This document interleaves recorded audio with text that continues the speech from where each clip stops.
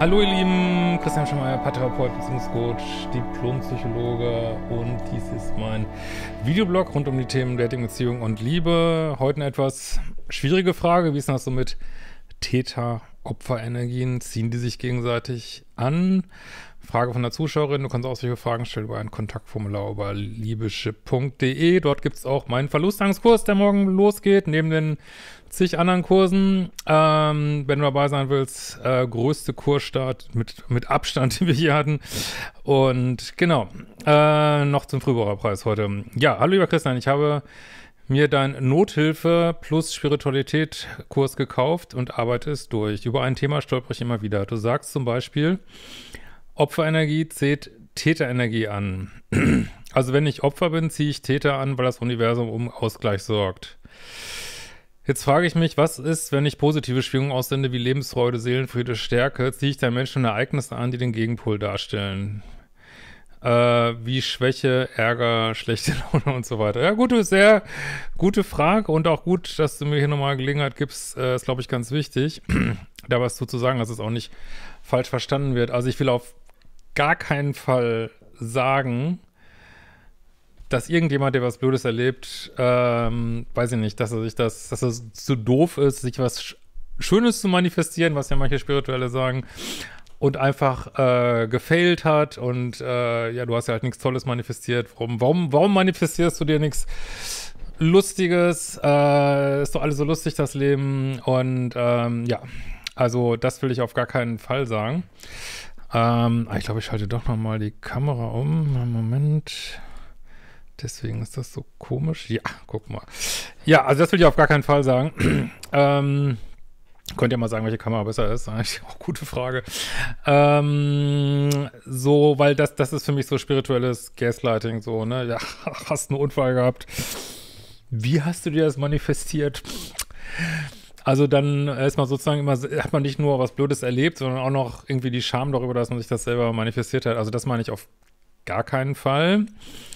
Ähm, aber es ist tatsächlich so, äh, das ist auch immer schwer, das in gute Worte zu packen, sag ich mal. Ähm, es ist auf jeden Fall so, dass ähm, Menschen, die viele Opfererfahrungen haben, suchen sich manchmal unbewusst wieder Menschen aus, die sie wieder in schwierige Situationen bringen. Ne? Vielleicht muss ja nicht immer gleich eine Riesensache sein.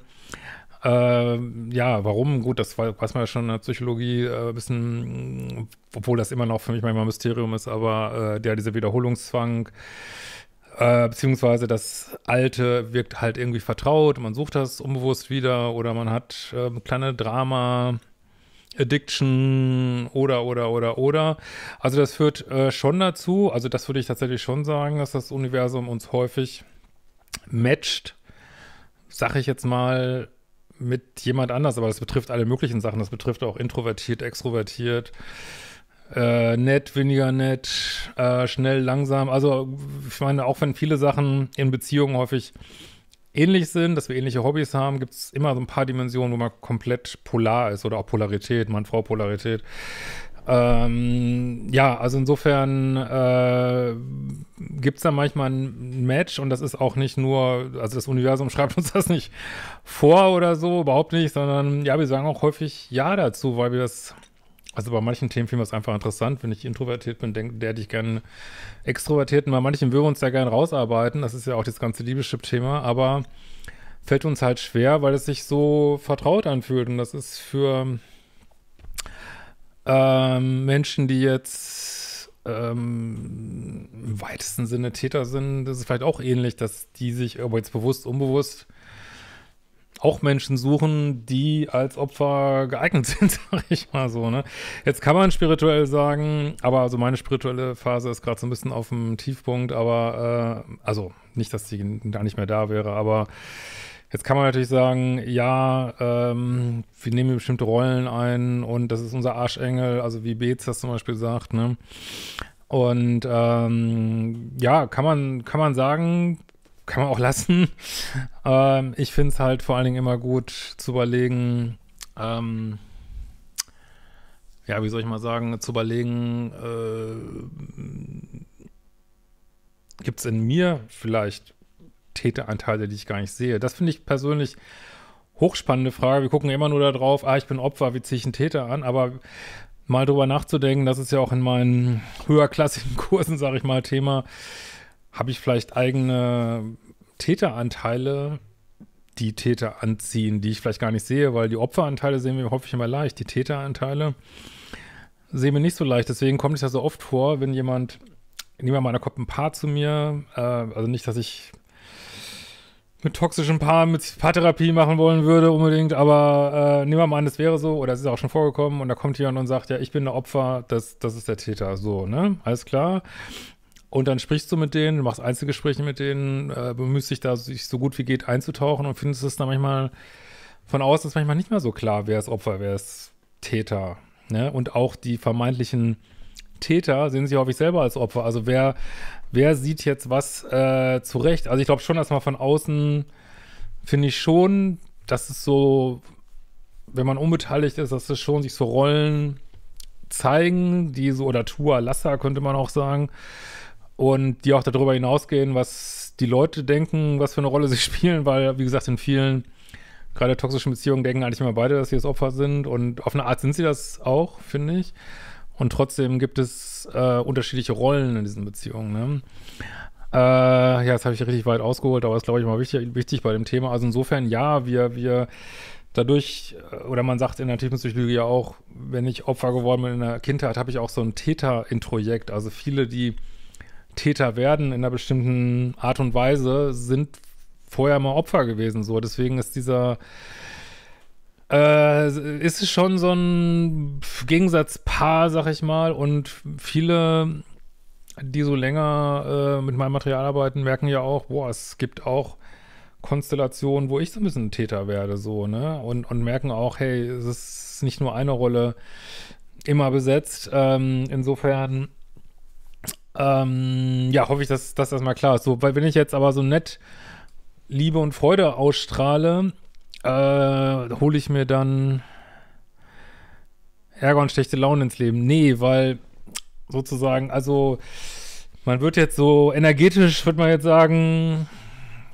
ich hoffe, ich, ist eine gute Formulierung, kann man jetzt sagen, wenn du lange toxische Beziehungen führst mit jemandem und du bist, siehst dich als Opfer und an, siehst den anderen als Täter, dann habt ihr irgendwo ein Match, irgendwo eine energetische Übereinstimmung in diesem dunklen Thema, ne? Sei es, dass man irgendwas wiederholt aus der Kindheit, äh, was auch immer.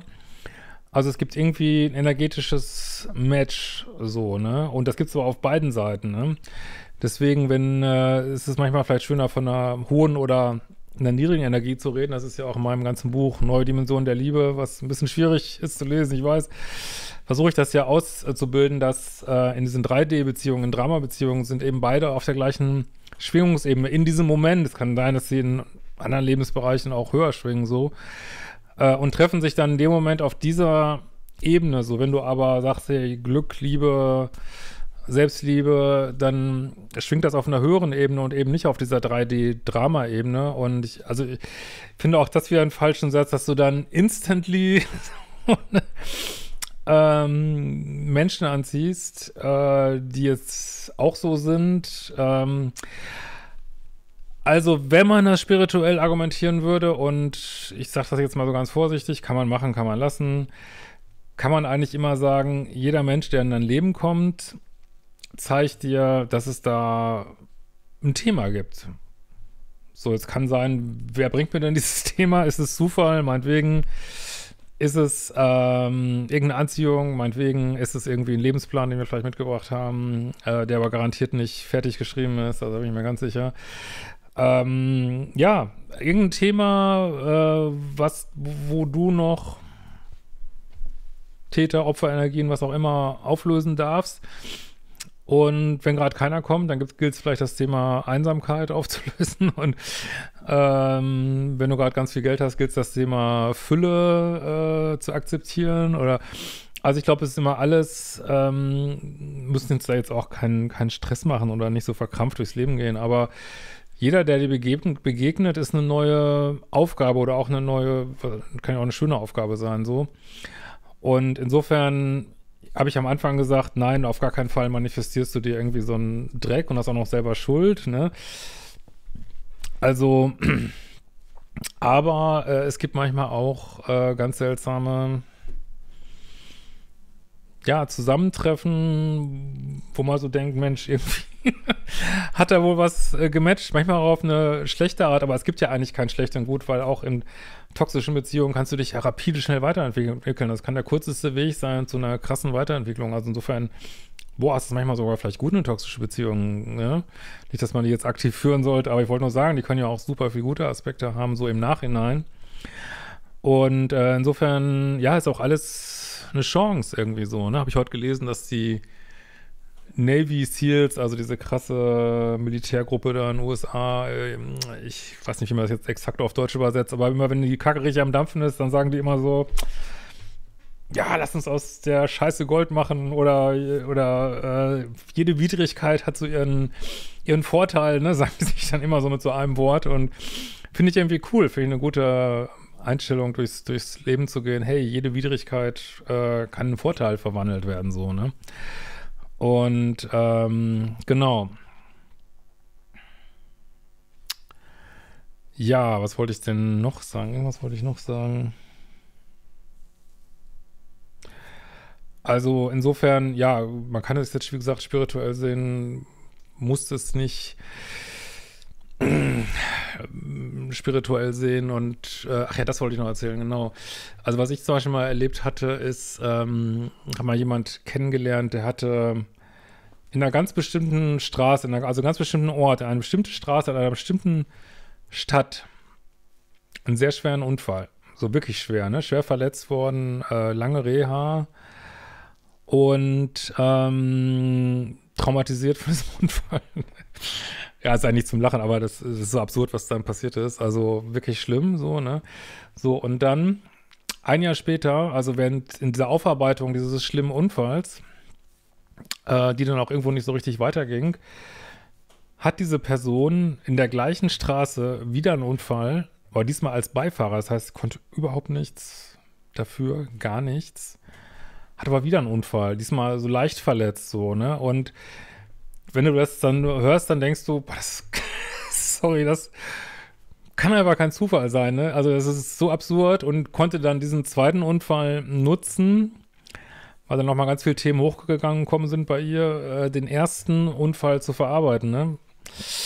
Also so funktioniert, glaube ich, manchmal. Ist crazy, aber wie gesagt, ich, ähm, ich finde ja viel äh, so in, äh, vor allem auf Social Media, viel hm, spirituelle Inhalte so dunkel, deswegen bin ich immer mittlerweile so vorsichtig da überhaupt, weil das kann so leicht benutzt äh, werden, ähm, ja, Menschen, also wirklich so sektenartig, äh, irgendeinen Scheiß zu erzählen, dass sie sich noch viel schlechter fühlen und äh, irgendwelchen Kaninchenbau zu, zu schicken, wo, wo sie meinen, sie werden mit irgendjemandem zusammen, mit dem sie gar nicht zusammen sind und das ist aber ihr Seelenpartner und müssen eben noch 50 Jahre hinterherrennen und obwohl er gar nichts von ihnen will. Also es passiert da so viel Dunkles, dass ich mittlerweile manchmal so denke, manchmal ist es auch vielleicht einfach besser, einfach sie auf dem Boden des gesunden Menschenverstandes und der Psychologie zu setzen und alles andere so ein bisschen mit Vorsicht anzugucken und wenn man, wenn es einem wirklich was nützt, ähm, diese Tools, auch spirituelle Tools, äh,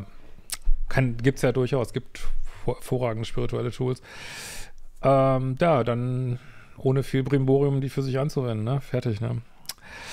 Aber ansonsten, also für mich wirklich, ich bin ja auf so einem Journey, also ich bin ja extrem katholisch erzogen worden und äh, habe da jetzt in keinster, äh, also nee, doch, ich habe da auch drunter gelitten, weil, wie gesagt, diese ganzen Strafandrohungen und so, aber ich sag mal, die katholische Kirche hat mir jetzt wirklich, mir persönlich nichts getan, sondern ganz im Gegenteil, meine, meine Kindheit wirklich an vielen Punkten äh, wirklich äh, hell erleuchtet, sag ich mal.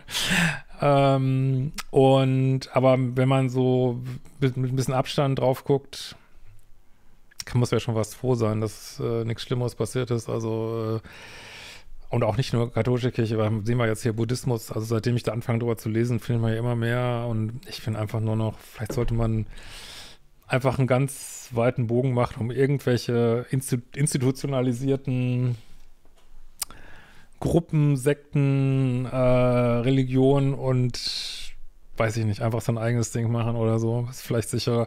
In diesem Sinne, wir sehen uns bald wieder. Ciao, ihr Lieben.